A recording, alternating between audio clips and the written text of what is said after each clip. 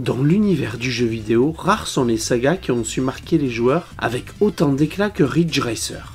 Cette série emblématique, véritable pilier de la compagnie Namco, a laissé une empreinte indélébile sur le paysage vidéoludique. Vous êtes convié à un voyage à travers plusieurs décennies, à la découverte d'une saga qui a su s'épanouir aussi bien dans l'effervescence des salles d'arcade que dans l'intimité des foyers et même jusqu'au creux des mains des joueurs grâce aux consoles portables et autres téléphones mobiles. Ridge Racer, c'est bien plus qu'une simple série de jeux de course. C'est une pierre angulaire de la culture du jeu vidéo. Depuis ses premiers pas fracassants dans les salles d'arcade au début des années 90, la saga a su captiver les joueurs par sa combinaison unique de vitesse effrénée, de gameplay accessible et de design proposant une identité forte. Au fil des décennies, Ridge Racer a su se réinventer tout en conservant son ADN caractéristique. De la première itération qui a ébloui les joueurs avec ses graphismes révolutionnaires et sa bande-son mémorable, à la transition en douceur vers les consoles de salon, la saga a suivi une trajectoire ascendante, établissant des standards en matière de jeux de course avant de décliner. Dans les prochaines minutes, nous plongerons dans l'histoire fascinante de Ridge Racer en explorant les moments emblématiques de la série, les innovations qui l'ont définie, ainsi que les raisons pour lesquelles elle continue de résonner dans le cœur des joueurs. Vous êtes invités pour cette aventure épique à travers les routes sinueuses de l'histoire du jeu vidéo. Préparez-vous à prendre le départ pour un voyage inoubliable au volant de Ridge Racer.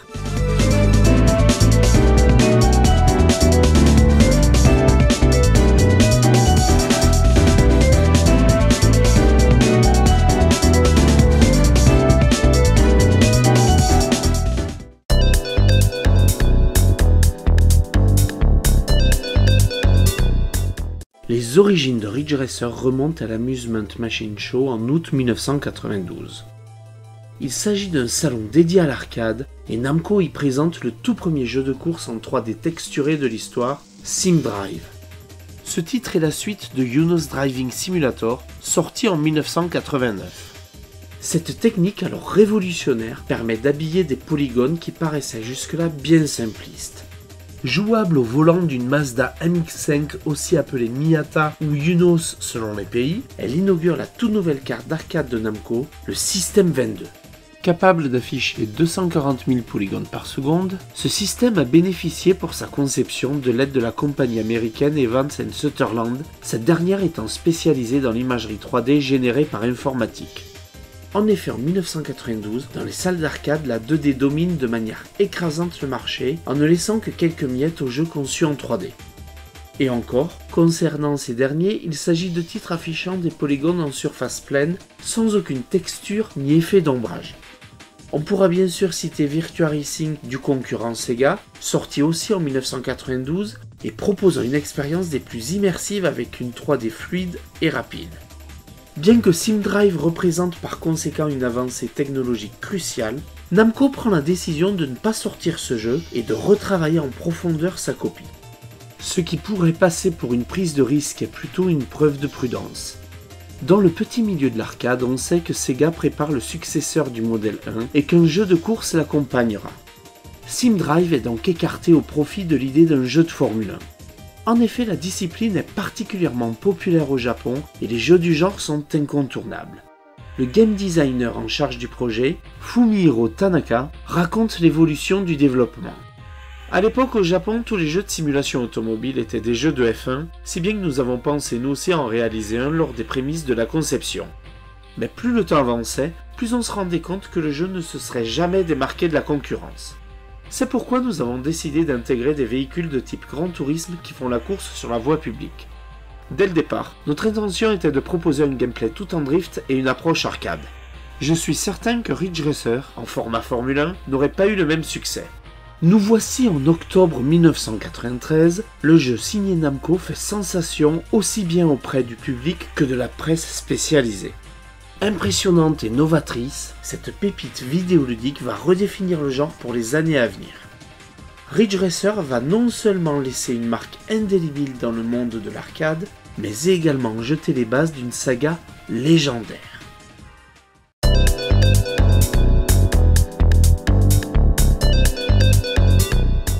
Dès que l'on s'approche de la borne d'arcade Ridge Racer, on est saisi par l'esthétique du jeu. Les graphismes sont alors tout simplement époustouflants. Exploitant la technologie de la 3D texturée, il crée ainsi des environnements d'une beauté saisissante. Mais ce qui distingue Ridge Racer, c'est son gameplay fluide et son système de dérapage, certes très fantaisiste. Chaque virage est l'occasion de trouver l'équilibre entre adhérence et glisse, la prise en main ne demandant que peu de temps. Ces dérapages contrôlés deviendront d'ailleurs emblématiques de la saga. L'ambiance sonore est tout aussi mémorable avec des pistes électro composées par le talentueux Shinji Osoe. Ces mélodies au rythme frénétique ajoutent une dimension à l'expérience, transportant les joueurs dans un monde de vitesse et de musique.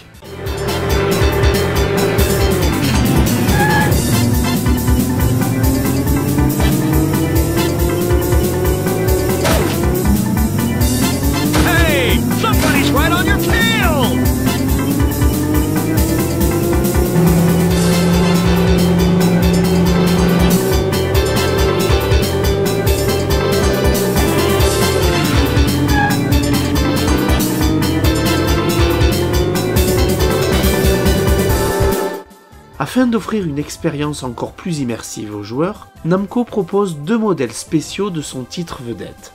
L'un d'eux consiste en une borne en position assise avec pas moins de trois écrans.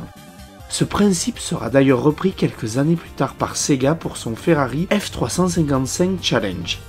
L'autre borne spéciale nous renvoie aux origines du jeu en évoquant SimDrive. Désignée par le patronyme de Ridge Racer Full Scale, cette borne à écran géant propose comme son aîné de prendre le volant de la Mazda MX5 Miata.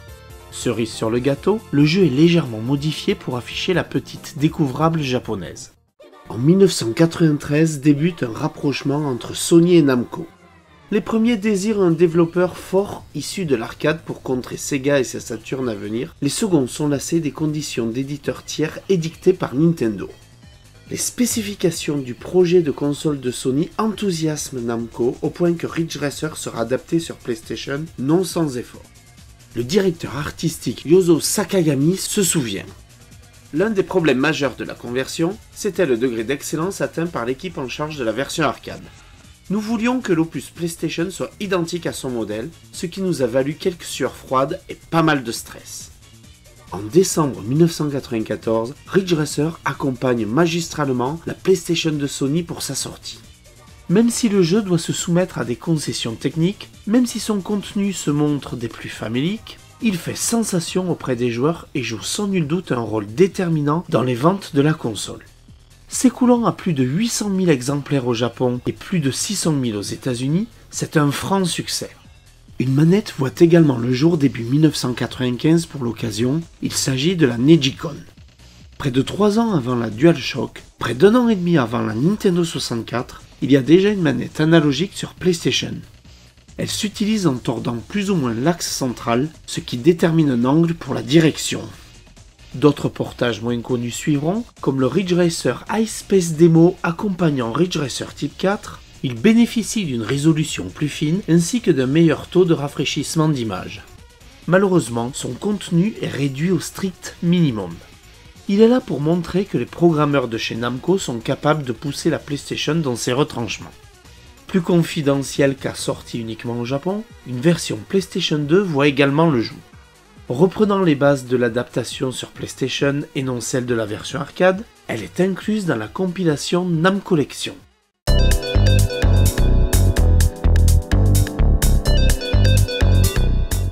Même s'il est adapté sur console de salon, ce premier Ridge Racer est emblématique d'une époque où les jeux sont colorés, le défi relevé et l'ambiance frénétique. Concernant la saga, nous sommes au début de l'ère de l'arcade, elle se poursuit en 1994 avec Ridge Racer 2. Ce dernier s'apparente davantage à une mise à jour qu'une véritable suite, tant il s'éloigne peu de son aîné. Il en reprend le circuit en deux variantes et se contente de changer les moments de la journée pendant lesquels se déroulent les diverses courses proposées.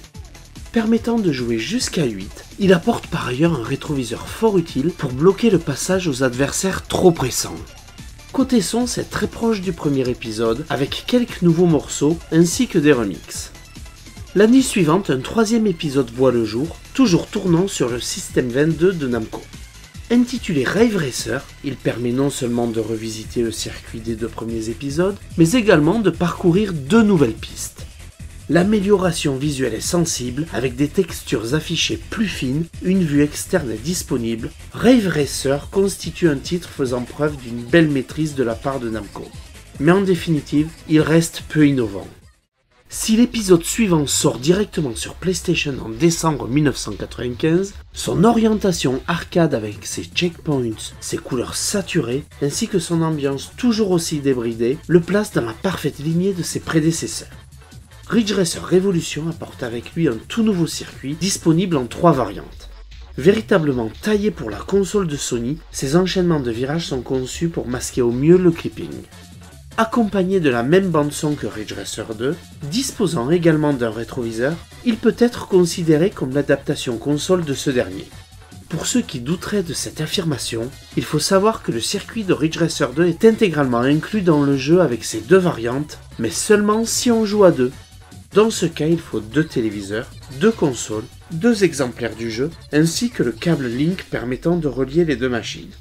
Ridge Racer Revolution est lui-même plus ou moins adapté en arcade sur System 11 en 1996. Il s'agit d'un support directement dérivé de la PlayStation, donc moins puissant que le System 22. Ce jeu atypique du nom de Pocket Racer est basé sur Ridge Racer Revolution, mais avec des voitures minuscules, comme on peut en débloquer dans ce dernier sur PlayStation. Assez anecdotique, il marque la fin d'une ère tournée vers l'arcade, l'avenir s'annonçant plus sérieux et sur console de salon.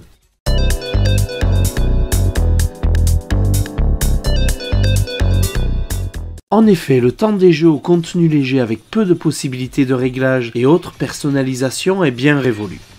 Namco fait évoluer sa saga en décembre 1996 avec Rage Racer. Ce titre marque une étape majeure dans l'histoire de la série. Cet épisode introduit des éléments de modification des véhicules, offrant aux joueurs une expérience qui se veut davantage immersive. En progressant au fil des courses, on peut personnaliser les voitures et améliorer leur performance les graphismes de Rage Racer rompent totalement avec ceux des opus précédents. Si les détails des voitures sont poussés et les environnements riches, les tonalités sont également plus sombres, donnant à l'ensemble un côté résolument plus austère et sérieux qu'auparavant. Le jeu conserve le style de dérapage caractéristique de la saga et offre des tracés variés et complexes s'articulant tous autour du même lieu. Malgré cela, les paysages traversés sont variés, ce qui donne lieu à des transitions improbables, évoquant par moments l'origine arcade du jeu. Une surprenante version R390 GT1 spéciale voit le jour en 1997. Comme son nom l'indique, elle propose de prendre le volant du bolide éponyme. Non destinée à la vente aux particuliers, cette édition spéciale est le fruit d'un partenariat entre Namco et Nissan et est destinée à être montrée lors d'événements peut-être un peu à l'étroit dans son costume de jeu de transition, probablement desservi par ses visuels pourtant fort jolis mais sombres, Rage Racer annonce un futur qui va marquer l'histoire de la saga. Chez Namco, on a bien conscience que le temps de la domination de l'arcade est à son crépuscule et que les consoles sont appelées à monter en puissance. Cela se ressent particulièrement dans le domaine du jeu de course. Un certain Gran Turismo a redéfini le genre en 1997 et désormais le joueur est en quête de réalisme, d'environnement sérieux ainsi que de sentiments de progression. Le virage judicieusement amorcé par Rage Racer doit donc être poursuivi et c'est en décembre 1998 que la saga va embrasser totalement son statut de jeu pour console. Si Ridge Racer Type 4 ne renie pas totalement ses origines, il dépoussière fortement la saga, lui redonnant son éclat des débuts. Ici, on est plongé dans l'univers de la course professionnelle avec la possibilité de choisir parmi plusieurs écuries et constructeurs de voitures. Toujours dans un souci de s'ouvrir à un plus large public, le jeu propose deux modes de maniabilité, drift et grip. Si le premier reprend les bases arcades de la série avec des dérapages extravagants, le second se rapproche des jeux plus sérieux avec des voitures bien collées à la route, ces dernières nécessitant de travailler les trajectoires. Quant au contenu, le jeu fera découvrir plusieurs circuits et environnements, invitant toujours à parcourir villes, montagnes et littoral. Ridge Racer Type 4 n'est pas en reste en ce qui concerne sa réalisation, avec des environnements riches et détaillés faisant honneur à la console de Sony. Le directeur de projet Motomi Katayama évoque le développement du jeu. Ridge Racer Type 4 a pris environ un an et demi à produire, avec approximativement 30 personnes dans l'équipe principale. Nous voulions faire de R4 le meilleur jeu de course possible. Bien qu'il s'agisse d'une série, chaque épisode de Ridge Racer a été développé avec un concept différent. Par exemple, Rage Racer a été imaginé austère et proposait une expérience directe. Au contraire, la clé du concept de R4 est de faire en sorte que vous vous sentiez tel un pilote professionnel. En ce qui concerne la bande-son, on abandonne les musiques frénétiques des opus précédents pour un style jazzy plus feutré qui convient à merveille au jeu.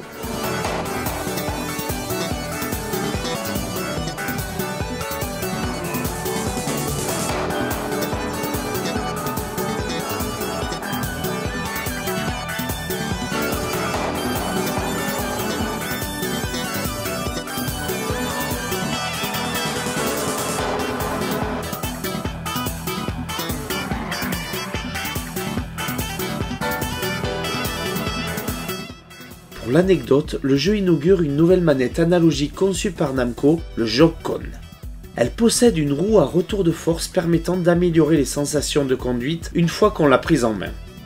Ridge Racer Type 4 est alors l'aboutissement d'une saga déjà légendaire, une célébration de la course saluée par les fans pour sa qualité appelée à devenir intemporelle.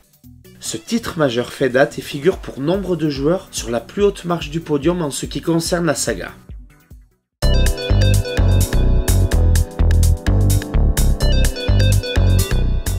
Nous voici au début de l'année 2000.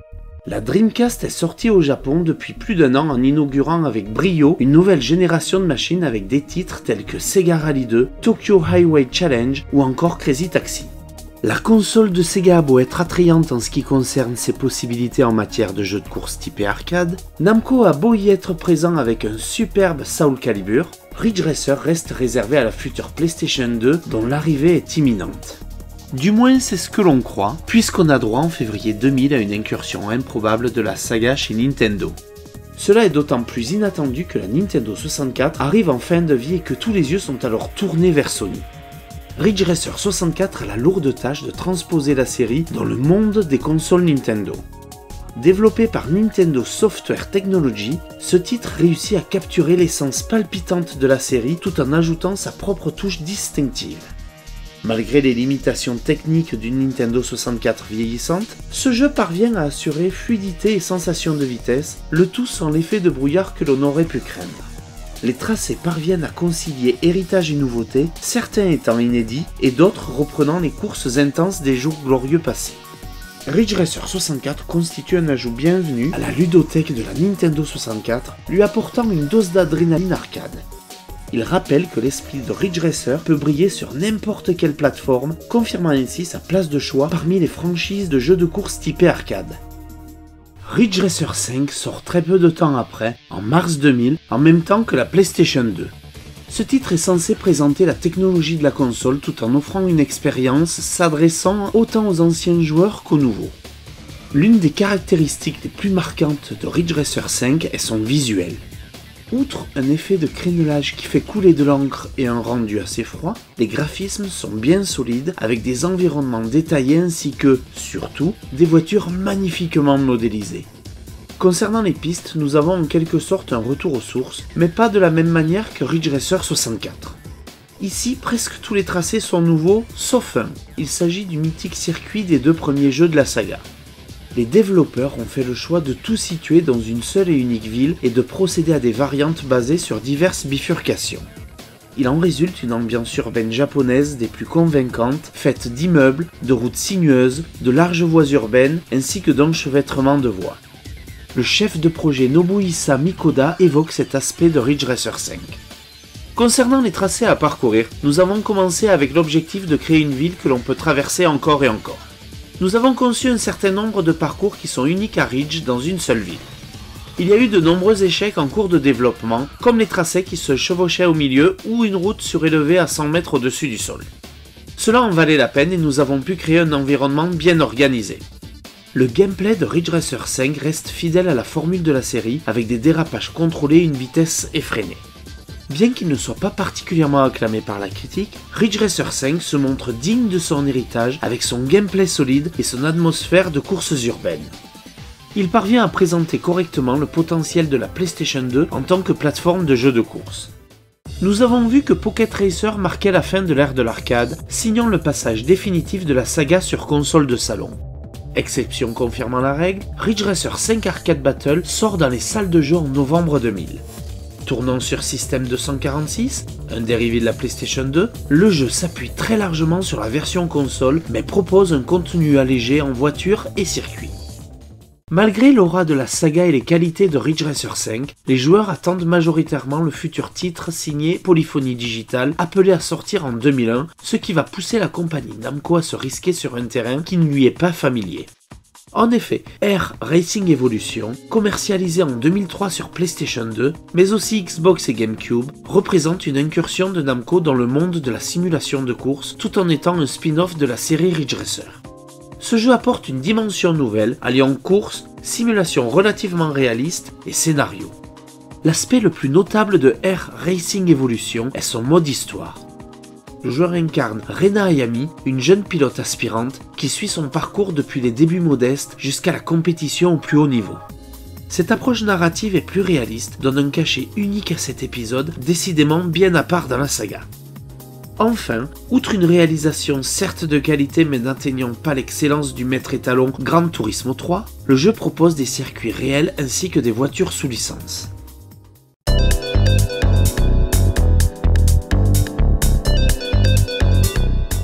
Ridge Racer DS, commercialisé en décembre 2004 sur Nintendo DS, apporte la série sur console portable.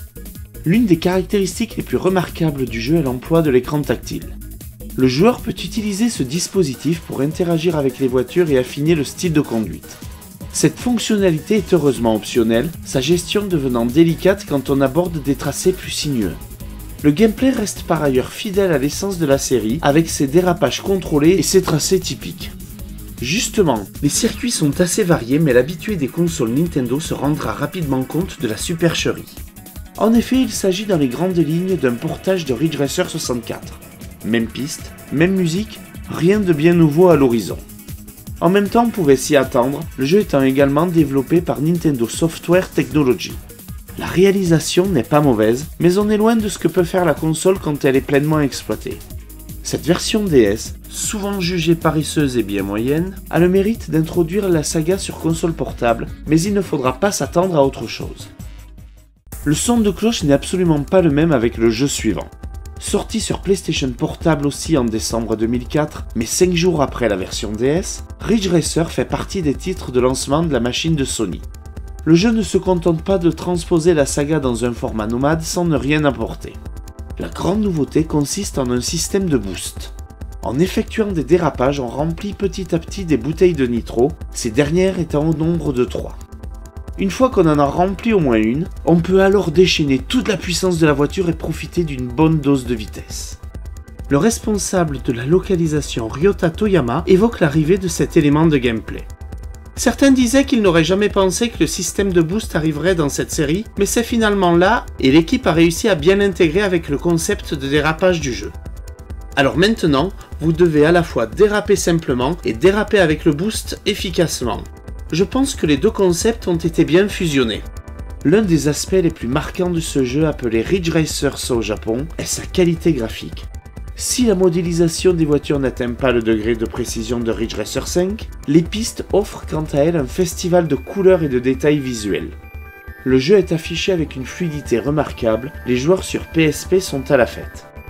Ridge Racer sur PSP est une véritable démonstration de ce que cette console portable peut offrir en termes de jeux de course. Salué par les fans et par la critique, il accompagne à merveille le lancement de la console portable de Sony, à l'image de ce qu'a réalisé le premier opus en 1994 avec la PlayStation.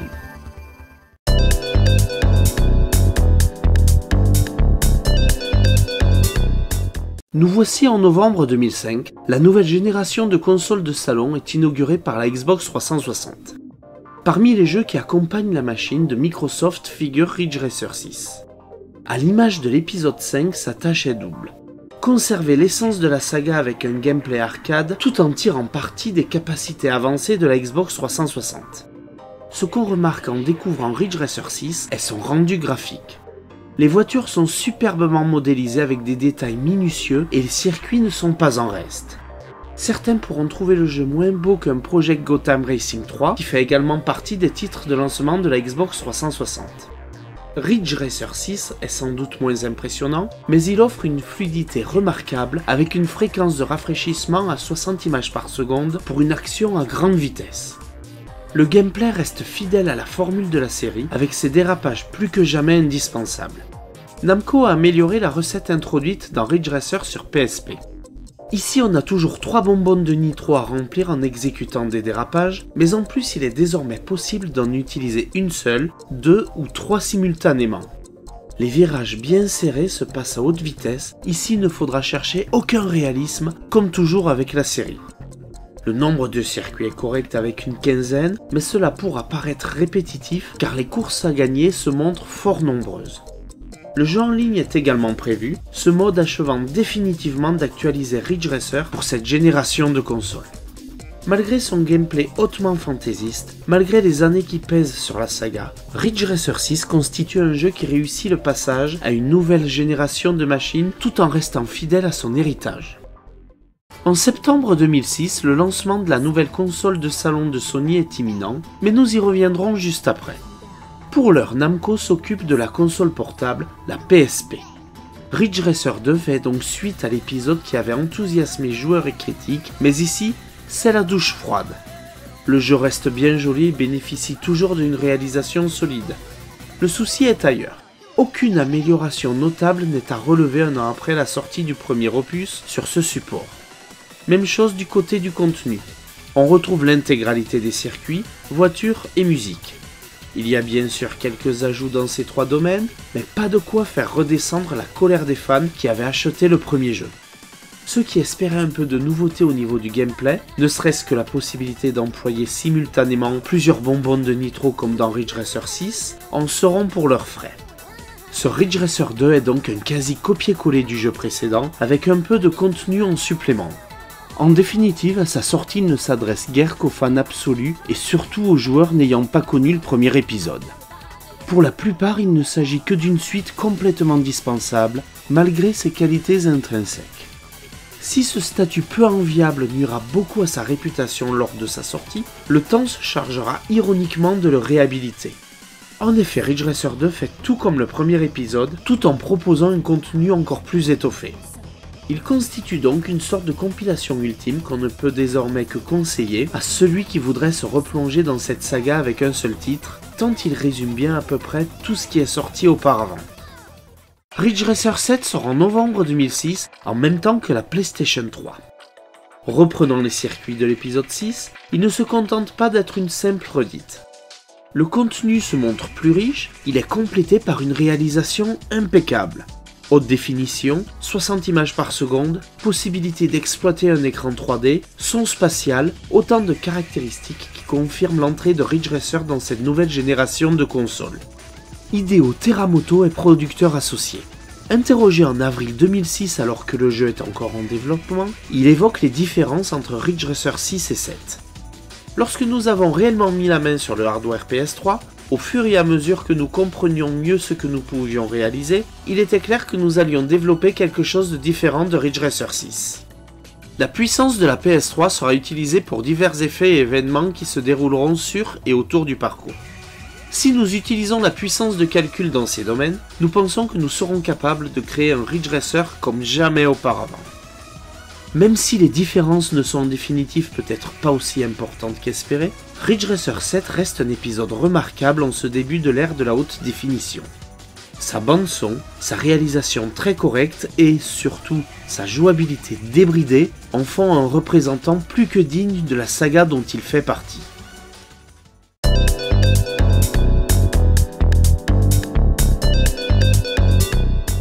Après cet épisode 7, la série Ridge Racer marque alors une pause de 3 ans. Va alors débuter une ère qui va faire comprendre aux fans que le meilleur appartient désormais au passé. Alors que la série avait brillé de mille feux depuis ses débuts, cette période voit poindre le déclin de son éclat. Il s'agit du début d'une époque symbolisant un changement de direction pour la série, avec des épisodes qui, bien que techniquement parfois remarquables, suscitent des doutes quant à la poursuite de l'excellence qui avait caractérisé Ridge Racer. Le premier choix de Namco à partir de la fin des années 2000 est d'établir sa série de jeux de course sur téléphone et tablette. Si l'idée n'est pas mauvaise en soi, il faut bien avouer qu'en ce qui concerne le prestige, on n'est plus du tout au niveau des impressionnants jeux d'arcade des débuts, ni à celui des versions console. Nous passerons rapidement sur ces Ridge Racers plus nomades que jamais pour évoquer un peu plus en détail les ultimes épisodes sortis sur console. Ridge Racer Accelerated ouvre les hostilités en décembre 2009. Réalisé plutôt proprement, il n'est pas sans rappeler le premier Ridge Racer de la PSP. Ensuite, octobre 2010 voit arriver Ridge Racer Drift. Souvent considéré comme le pire épisode jamais sorti, ce jeu est affublé d'une plastique des plus ingrates. A l'inverse, Ridge Racer Slipstream, sorti en décembre 2013, a la réputation d'être le plus recommandable de cette liste. Enfin, Ridge Racer Draw and Drift tente en 2016 une approche par écran tactile sans essayer d'imiter une manette de console avec des zones de dérapage à gérer. Cette période tournée vers le jeu en nomade comporte également deux épisodes sortis sur console portable. En février 2011, Ridge Racer 3D arrive sur la Nintendo 3DS. Tirant parti des fonctionnalités tridimensionnelles de la console portable de Nintendo, tout en puisant généreusement dans l'histoire de la série, il en est un des derniers jalons remarquables. Bien que cette sortie soit saluée pour ses efforts, elle reflète également la difficulté que Namco peut avoir à maintenir sa franchise iconique. Le directeur de production Masamichi Yamazaki évoque la grande nouveauté de Ridge Racer 3D. Ridge Racer, comme vous le savez, a une longue histoire et est connu pour offrir une expérience à haute vitesse et c'est la première fois que nous faisons tout ça en 3D. Ce jeu de course en 3D permet d'apprécier la compétition en totale immersion, c'est naturel et direct. Vous pouvez presque sentir l'air quand vous passez les virages et lorsque vous dépassez les autres voitures. Nous nous sommes concentrés sur le fait d'apporter quelque chose d'entièrement nouveau. Nous avons ajouté de nouvelles courses qui ressemblent à des lieux familiers des États-Unis. Malgré ses avancées techniques ainsi qu'un gameplay un peu moins permissif qu'auparavant, Ridge Racer 3D ne parvient pas à apporter des innovations significatives à la formule de la série. Ce titre soulève des questions sur la nécessité de l'innovation pour assurer la pérennité d'une série ayant connu bien des changements dans les habitudes des joueurs ainsi que plusieurs bouleversements technologiques. La PlayStation Vita sort en décembre 2011 au Japon et elle est accompagnée d'une prévisible itération de la saga qui nous occupe ici. Sobrement intitulé Ridge Racer, le jeu reçoit une pluie de critiques négatives à sa sortie. Animation perfectible, graphisme moyen, contenu indigent, le tout avec des DLC à payer en sus pour avoir le vrai jeu. Malgré une mise à jour technique, malgré une version plus complète assez rapidement soldée, la réputation du jeu est alors scellée. Au chapitre des curiosités, on pourra citer deux contenus supplémentaires improbables. Le premier contient la célèbre Hornet de Daytona USA. Le second comporte la musique Ridge Racer USA Mix. Il s'agit du thème mythique de Ridge Racer chanté par Takenobu Mitsuyoshi. Il s'agit d'un des compositeurs vedettes de chez Sega, à qui on doit justement la bande-son de Daytona USA. Ainsi, en dépit du flot de critiques auxquelles il a eu droit, et même si les deux épisodes de la PSP restent davantage mémorables, ce Ridge Racer sur PS Vita constitue pour certains l'ultime épisode de la saga. Il reste bien un dernier épisode à évoquer, mais sa légitimité se montre des plus discutables. Sorti en mars 2012 sur PlayStation 3, Xbox 360 et PC, Ridge Racer Bandit marque une tentative de moderniser la série en introduisant des éléments de destruction dans l'expérience de course. Ce titre, signé par le développeur finlandais Bugbear Entertainment, prend des libertés significatives par rapport à la formule traditionnelle de Ridge Racer influencé par des franchises telles que Need for Speed, Motorstorm ou surtout Burnout et Split Second Velocity, Unbounded s'éloigne des tracés urbains japonais conjugués à des dérapages contrôlés pour introduire des environnements destructibles à thématique occidentale. Les joueurs peuvent non seulement rivaliser pour la première place, mais également démolir des obstacles afin de créer des raccourcis, ajoutant une certaine dimension stratégique à la série. Jonas Lasko est producteur de Ridge Racer Unbounded. Il revient sur cet aspect de démolition. Vous êtes dans un monde où toutes les destructions sont dynamiques. Nous avons essayé d'éviter les éléments précalculés de sorte à ce que tous les dégâts soient en temps réel. Vous n'allez pas voir les mêmes scènes encore et encore. Tout ce que vous détruirez dans le jeu s'effondrera de manière légèrement différente à chaque fois, tout dépend de la physique. Nous pensons que c'est une sorte de mélange de précision et de chaos, c'est quelque chose que personne d'autre n'a jamais vraiment fait. Cependant, cette approche se tournant résolument vers les productions occidentales n'est pas sans controverse parmi les fans de la série. Ridge Racer Unbanded représente ainsi un chapitre clivant dans l'histoire de la saga, illustrant la difficulté à concilier innovation et satisfaction des attentes des fans. Un ultime opus est alors prévu, il s'agit de Ridge Racer Driftopia. Basé sur Unbanded et également développé par Bugbear, il doit être un jeu gratuit avec uniquement du contenu payant à ajouter. Le jeu sera en bêta ouverte en septembre 2013 sur PlayStation 3 et PC, mais il doit faire face à une vague de retours très véhément. La bêta est ensuite fermée en août 2014 et le jeu est purement et simplement annulé, achevant ainsi la saga sur la note la plus négative qui soit.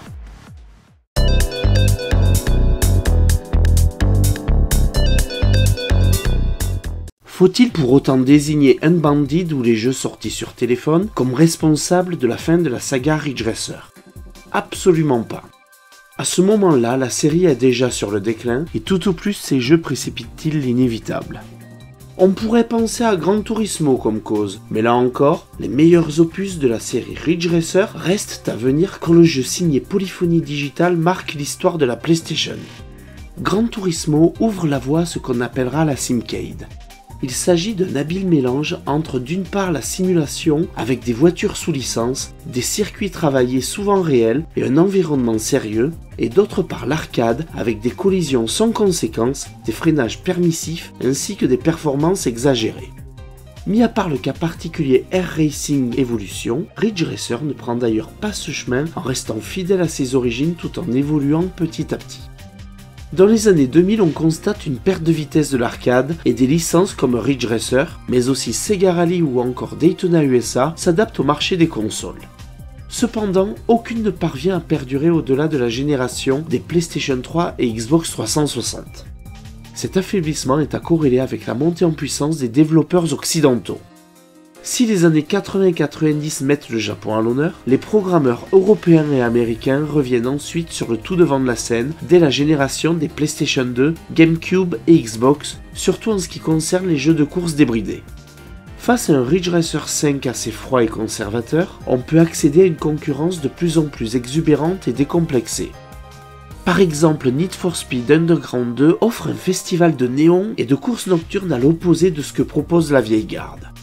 Dans le même ordre d'idées, Burnout 3 Takedown change également la donne en renouvelant avec bonheur le genre avec ses collisions spectaculaires. Une autre évolution notable consiste ensuite en l'émergence de jeux se déroulant en monde ouvert. On pourra bien sûr citer Burnout Paradise, mais également Midnight Club Los Angeles, Test Drive Unlimited ou Forza Horizon. Ces titres deviennent incontournables et constituent ce qu'on désigne désormais sous le nom de jeux à conduite typé arcade. Dans un tel contexte, il n'y a plus vraiment de place pour Ridge Racer et ses courses codifiées sur des tracés fermés. Plus du tout de place Rien n'est moins sûr.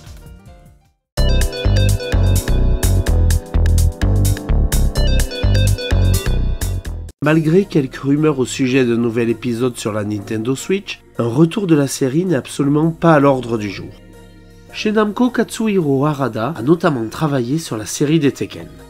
Interrogé en 2020 par un fan au sujet de la sortie d'un épisode principal de Ridge Racer, il répond J'ai été témoin de la disparition de grandes licences en interne.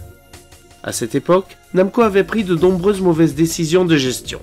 Si pour le moment il vaut mieux oublier toute éventualité d'un Ridge Racer 8, cela ne signifie pas pour autant que la série est totalement tombée dans l'oubli. En 2022, le fabricant spécialisé dans l'édition de bornes à tendance rétro arcade one-up lance un meuble dédié à Ridge Racer.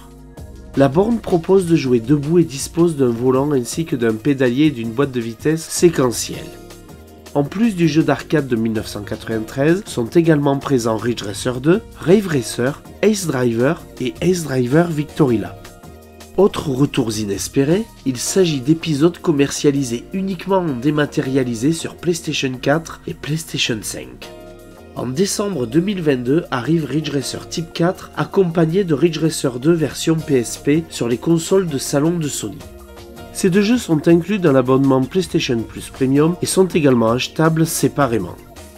Pour l'occasion, ils sont légèrement remaniés et bénéficient de graphismes affinés. Ce ne sont pas des épisodes choisis au hasard.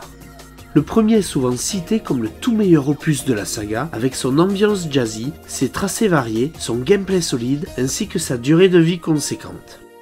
Si le second a été plus que fraîchement accueilli à sa sortie, comme nous l'avons vu au cours de ce dossier, le jeu a gagné en intérêt avec le temps au point de devenir l'un des épisodes les plus recommandables de toute la saga. Même s'il ne faut pas trop se faire de films, espérons que ces deux sorties auront leur petit succès avec le temps et que cela incitera Bandai Namco à se repencher sur sa saga.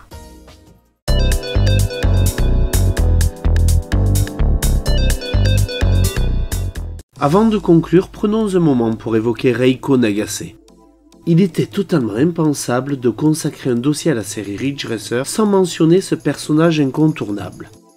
Si Reiko est officiellement désigné à partir de Rage Racer, il faut remonter en 1995 pour avoir sa véritable première apparition. En effet, l'intro de Rave Racer met en avant une jeune femme qui n'est jamais nommée. Vêtue de cuir noir, elle a droit à des plans alternant avec d'autres montrant une des voitures du jeu. On pourra noter qu'elle apparaît également sur des panneaux bordant la piste. Bien plus tard dans Ridge Racer 3D, Reiko porte des vêtements très proches de ceux de la demoiselle présente dans Rave Racer. Si cet argument à lui seul est bien léger, un second donne du crédit à cette possibilité. Une illustratrice ayant fait un dessin pour le magazine spécialisé Gamest en 1995 déclare qu'en interne, la jeune femme visible dans Rave Racer portait le surnom de Rave Reiko. Ensuite, en 1996, Reiko fait donc ses grands débuts officiels dans Rage Racer, on la découvre dans l'intro du jeu. Elle apparaît dans ce qui est la première ouverture en image synthèse de l'histoire de la saga. En 1998, Reiko est davantage mise en avant dans la mémorable vidéo d'intro de Ridge Racer Type 4. Magnifiquement iconisé, Reiko prend ici une toute autre dimension en devenant un personnage de premier plan au sein d'une série qui, il est vrai, met plutôt en avant ses bolides et ses tracés. Outre la présence de Reiko, une dimension narrative contribue grandement au fait que cette ouverture reste gravée dans les mémoires des joueurs qui ont eu la chance de s'essayer à cet épisode. Dans Ridge Racer 64, Reiko Nagase est toujours présente, mise en avant sur la jaquette du jeu ainsi que dans l'intro. En revanche, elle est remplacée dans Ridge Racer 5 au profit d'Aifukami. Nouvelle génération de consoles, nouveaux visages associés, toujours est-il Kai reste bien moins populaire auprès des fans que Reiko. Cette dernière revient pour les épisodes suivants sortis sur PSP, confirmant son statut de figure emblématique et indissociable de la saga. Outre dans les Ridge Racer, l'égérie de la série de Namco fait des apparitions dans d'autres jeux. En effet, Reiko est présente dans Anna Kournikova's Smash Court Tennis, Pac-Man Fever, ainsi que Pro Baseball Famista 2011. Ainsi, Reiko Nagase est davantage qu'un simple personnage de jeu vidéo. Au fil des épisodes s'est forgé un statut d'icône emblématique de la saga Ridge Racer.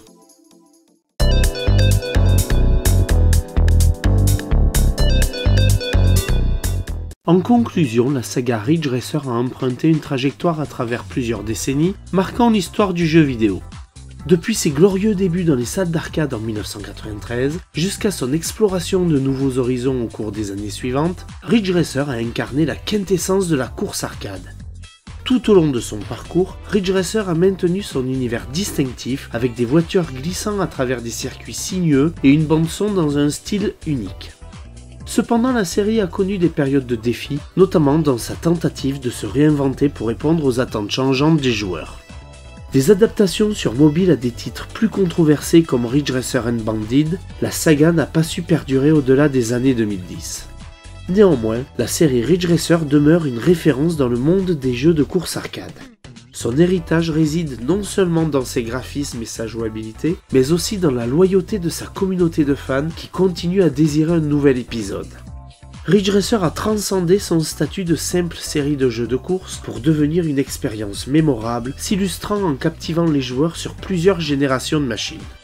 Ainsi, alors que le bruit des moteurs des bolides de Ridge Racer résonne encore depuis un passé révolu, la série est et restera un des fondements de la course arcade. Bon jeu à bientôt